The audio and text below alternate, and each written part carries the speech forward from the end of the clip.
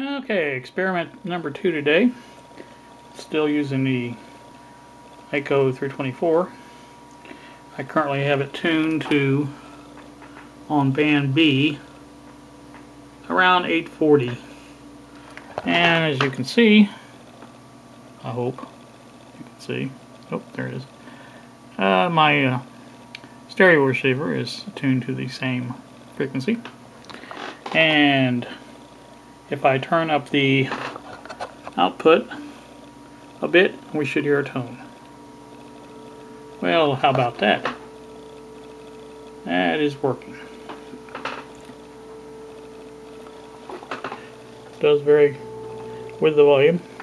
Oops, can't see what I'm doing. Um, it does go away if I switch frequencies. So, do a little fine adjustment.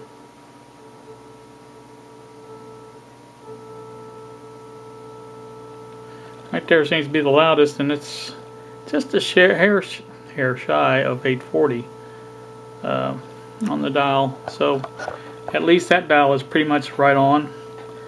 Um, I can only hope that uh, the uh,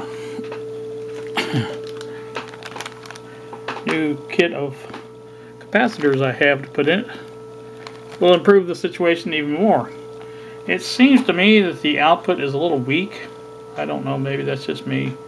Maybe I'm not knowing what to expect, but I have this receiver up basically halfway. Uh, and the volume is not that loud. And I also have the modulation up about 65% and uh, again it's just not that loud. I mean it works obviously but I'm thinking maybe the there's some improvement that can be made. It's warmed up a little bit. Now it's right on 840 can't beat that I'll tell you what. So anyway that was just my second experiment I wanted to before I I want to see if there's any improvement on this basically when I put these new caps in. So, you know, that was a little experiment there I wanted to do.